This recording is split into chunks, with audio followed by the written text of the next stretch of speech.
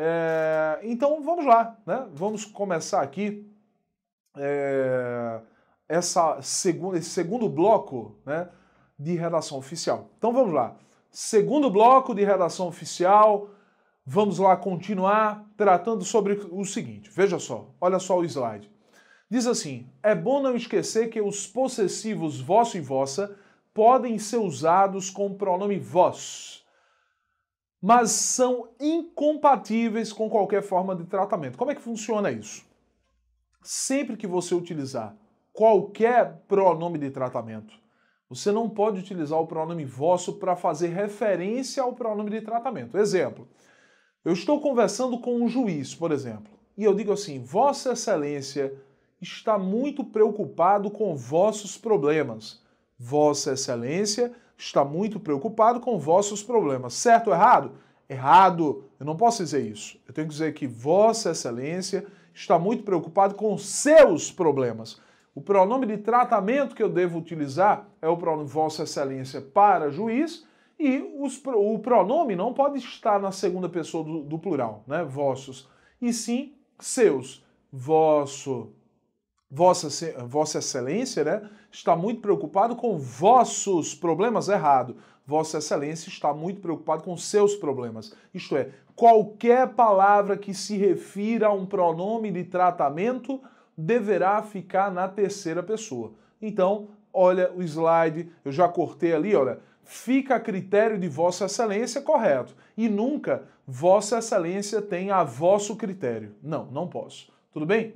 Então vamos lá, continuando.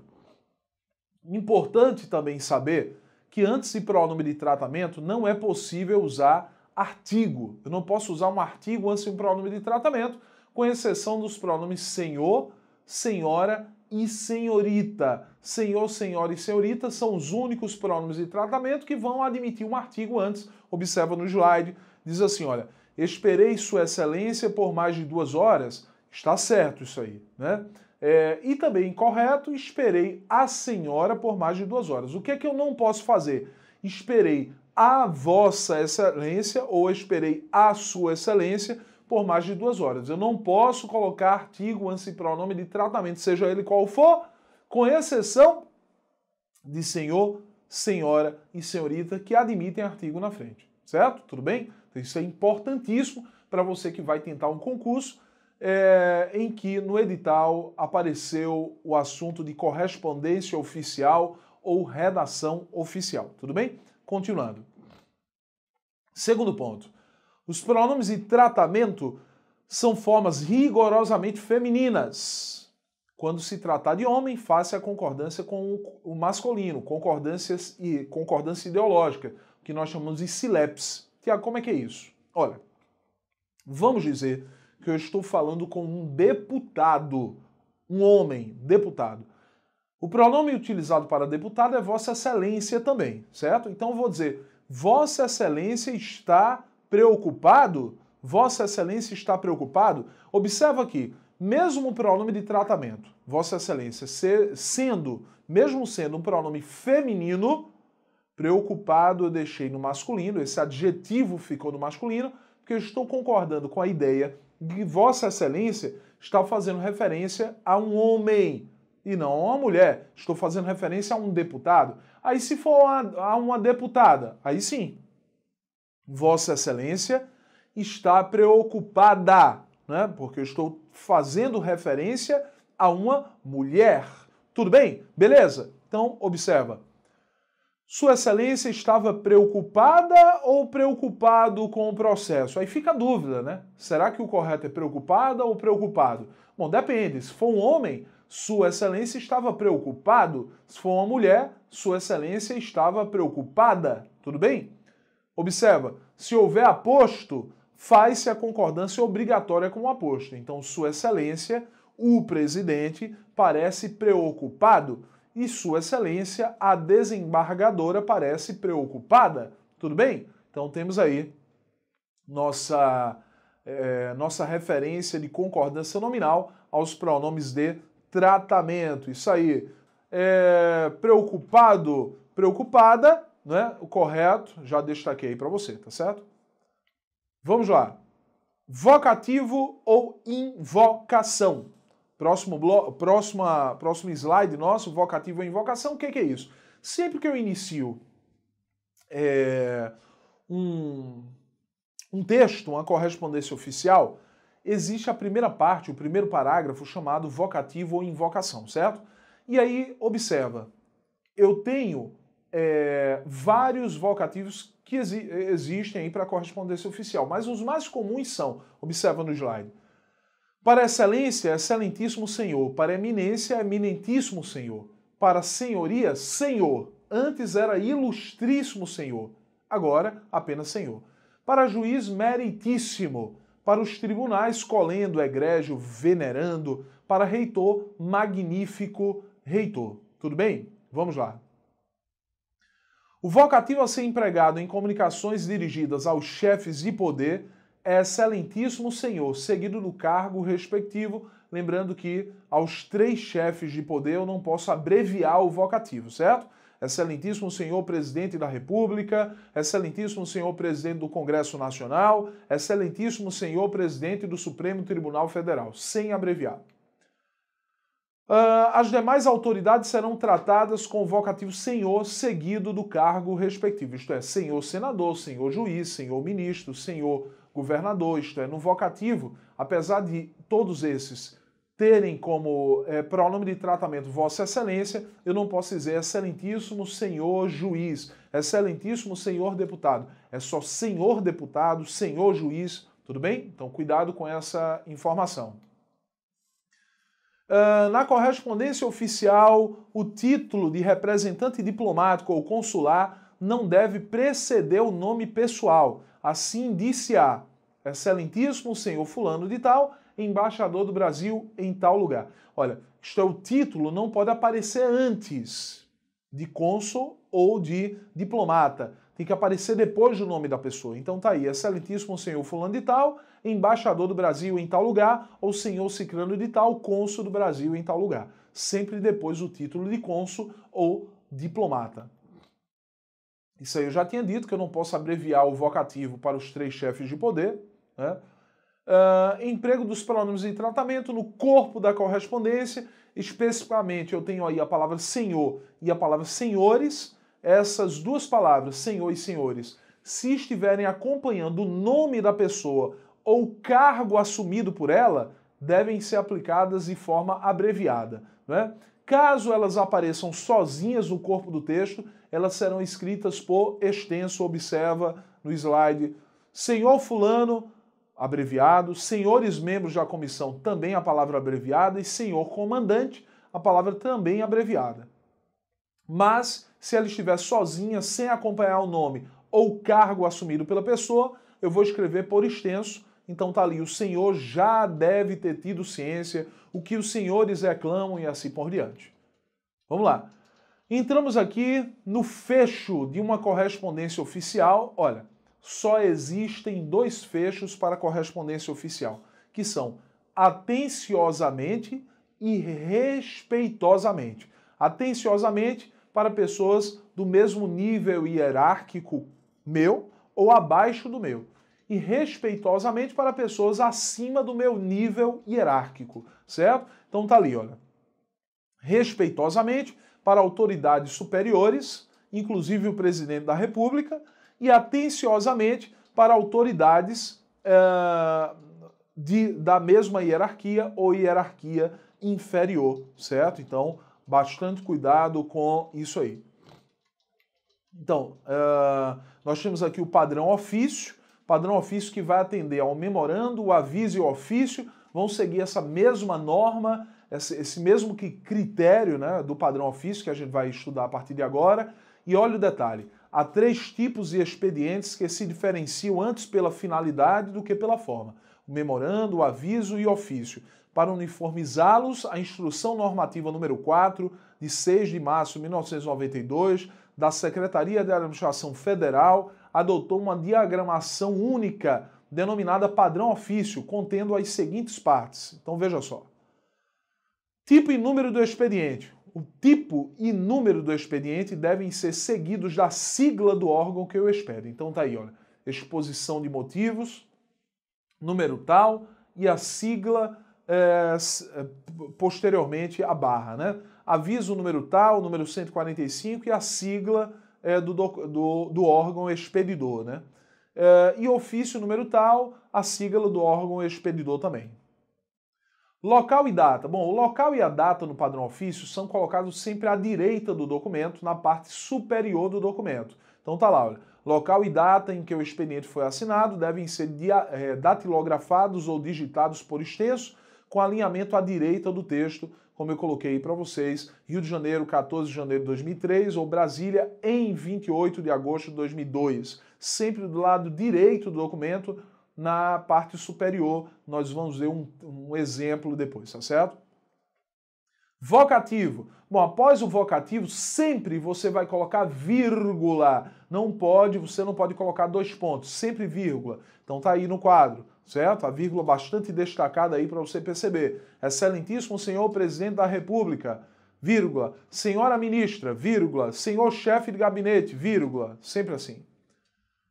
Deve ser evitado o uso de frases uh, feitas para iniciar o texto. No lugar de tenho a honra de, tenho o prazer de, cumpre-me informar que, empregue-se a forma direta. Informa a Vossa Excelência que, submeto à apreciação de Vossa Excelência, encaminho a Vossa, Excelência, a eh, Vossa Excelência, sempre assim, certo? Lembrando, a assinatura e a identificação de quem uh, está assinando, do signatário, né? Então eu coloquei ali, olha quem assina o texto é chamado de signatário, né? Assinatura e identificação dessa pessoa, sempre centralizada a assinatura. Observa aí no slide, espaço para assinatura centralizado, o nome da pessoa em caixa alta e o cargo assumido pela pessoa embaixo do nome. Né? Lembrando que esse cargo não vai aparecer em caixa alta, em caixa alta, como você percebe aí no slide. Bom, e para você entender como funciona o padrão ofício, eu tenho um exemplo de padrão, padrão ofício, observe bem aí no slide. Eu tenho primeiro, é, isso que está centralizado é o que nós chamamos de timbre. O timbre fica centralizado no padrão ofício, certo? É, e logo após o timbre, após 5 centímetros do início da folha, eu tenho uh, o tipo do expediente, nesse caso ofício, o número 524, o ano, que muitas vezes é colocado, né? uh, e a sigla do órgão expedidor, certo? Logo após isso, do lado direito, nós temos o local e a data, recuado aí para o lado direito. É, logo após eu tenho um endereço, que muitas vezes é colocado também, tá certo? O endereço aí, olha, Sua Excelência o Senhor, deputado, nome do deputado, né? Câmara dos Deputados, é, CEP Brasília, Distrito Federal, e logo após o assunto, demarcação de terras indígenas. Lembrando que a margem esquerda do documento tem 3 centímetros uh, e a margem direita 1 centímetro e meio, a metade da margem esquerda. Sempre que você for iniciar uh, um parágrafo, com exceção do vocativo e do fecho, que também são parágrafos, né, você vai dar, uh, vai colocar um, um numeral né, para iniciar o parágrafo, como você percebe ali, ó, numeral 1, você vai perceber no próximo slide Lembrando que uh, eu tenho que deixar um espaçamento de 2,5 centímetros e meio quando for iniciar cada parágrafo, tudo bem? Que nós chamamos de recuo de imagem, a linha paragrafal, né? existem vários nomes para esse espaço aí. Então eu vou passar aqui, você percebe que para cada parágrafo iniciado há um número colocado logo após os 3 centímetros de imagem esquerda, tudo bem? Então tá aí. Mais um exemplo, memorando, olha. 3 centímetros de margem esquerda, 1 centímetro e meio de margem direita. Beleza? E aí nós temos os textos oficiais. Meu diretor, quanto tempo já de gravação? Me diga aí. Certo. 15. Tudo bem. Então, olha, é, eu quero que você entenda, eu vou voltar aqui resumindo, já que a gente tem um tempo ainda.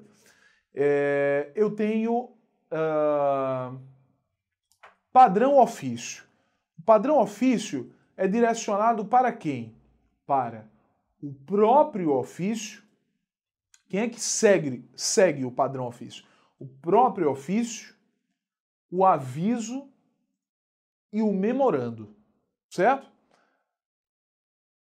Ofício, padrão, é, padrão ofício, quem vai seguir? Ofício, aviso e memorando.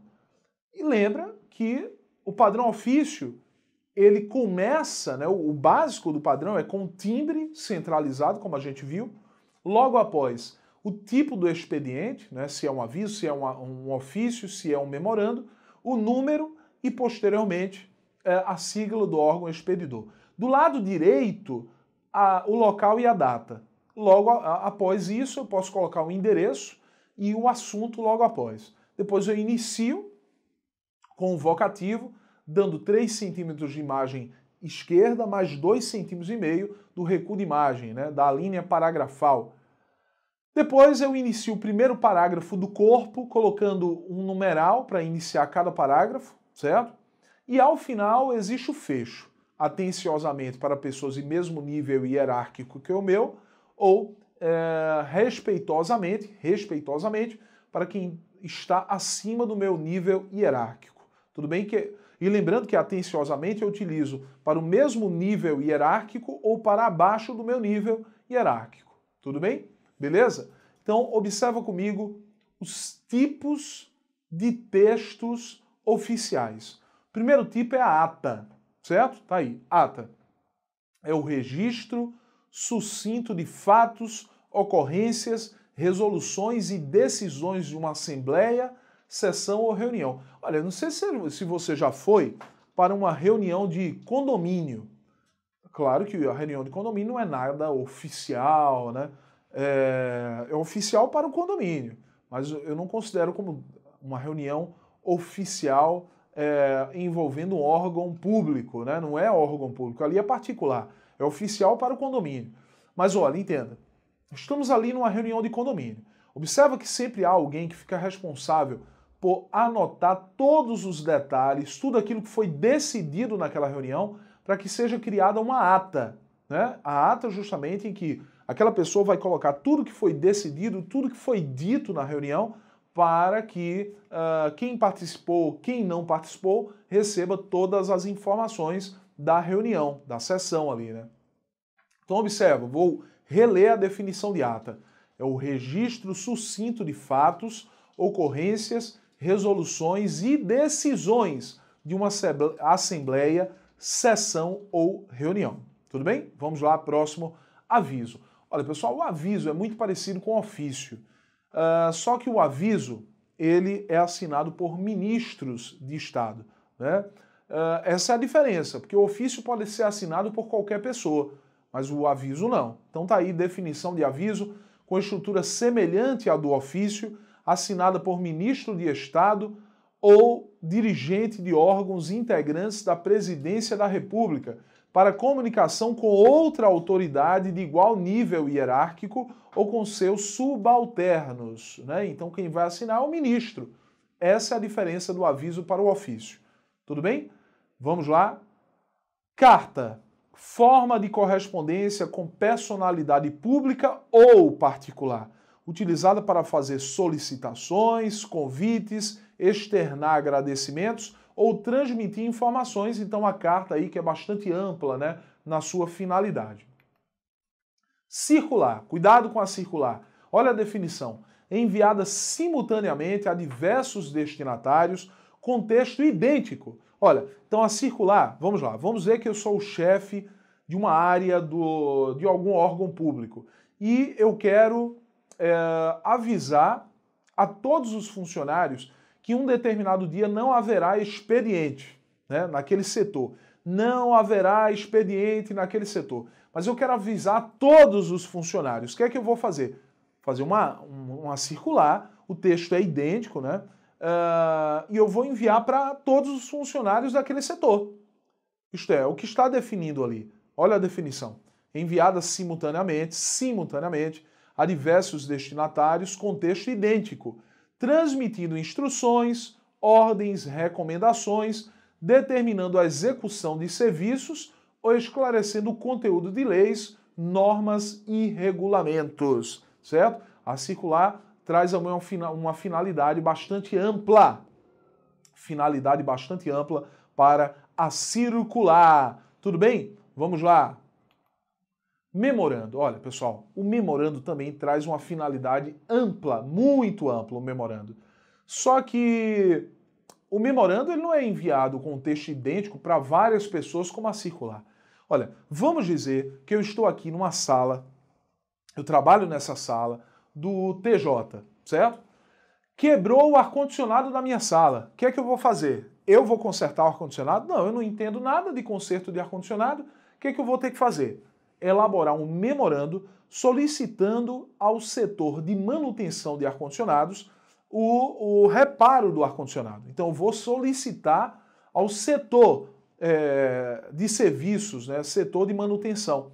Então, entenda, é, eu vou fazer o quê? Eu vou ligar para o setor e vou dizer, olha, o ar-condicionado aqui da minha sala quebrou, você pode vir consertar? A pessoa pode até dizer que vem. Ah, tá certo, eu vou. Sim, mas aí muitas vezes você espera deitado, porque a pessoa não vai. E se você ligar para ela reclamando, ela vai dizer, rapaz, olha, não lembro o dia que você ligou. Então, se tudo está documentado, ele não tem o que, o que dizer. Se você envia um memorando, se o memorando foi recebido, não há o que dizer a respeito. Se, se ele não conseguir fazer, se ele não fizer o trabalho, o conserto do ar-condicionado, ele não tem como negar que recebeu o memorando, certo? Então vamos ver a definição. Correspondência interna, tá aí, olha, tanto a circular como uh, o memorando são internos. Correspondência interna utilizada entre unidades administrativas de um mesmo órgão que podem estar hierarquicamente em mesmo nível ou em nível diferente, na qual se expõe qualquer assunto referente à atividade administrativa, qualquer assunto referente à atividade administrativa. Tudo bem? Próximo, ofício.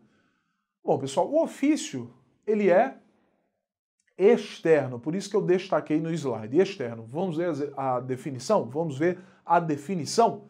Externo usado pelas autoridades públicas para tratar de assuntos de serviço ou de interesse da administração. É também utilizado por particulares, sempre externo. Relatório.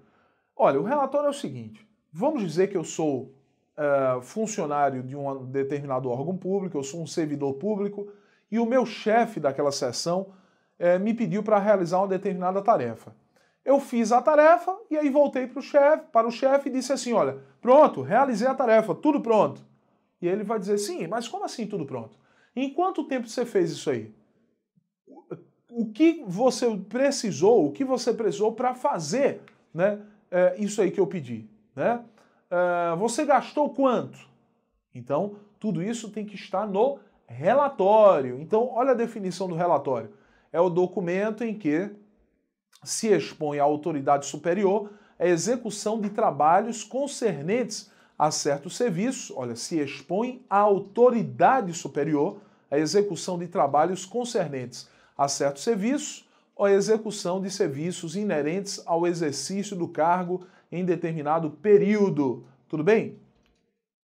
Requerimento. Olha, pessoal, sempre que eu falo de requerimento, eu lembro de uma situação de uma situação em que o meu cartão de crédito foi clonado e compraram nele 5 mil reais. E aí eu entrei no, no na, nas pequenas causas né, para a, requerer a anulação da, do valor ali, porque eles não queriam, o cartão de crédito não queria anular. Né? Diziam que eu tinha comprado, mas eu não tinha feito a compra. A compra tinha sido feita em um site né? Inclusive, o próprio cartão de crédito conseguiu estornar alguns valores, mas um ficou pendente. Então eu entrei nas pequenas causas. Só que eu perdi o dia da audiência. Né?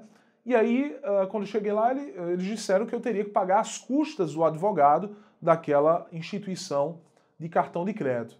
E aí eu entrei com um requerimento solicitando a anulação das custas do advogado da empresa de cartão de crédito.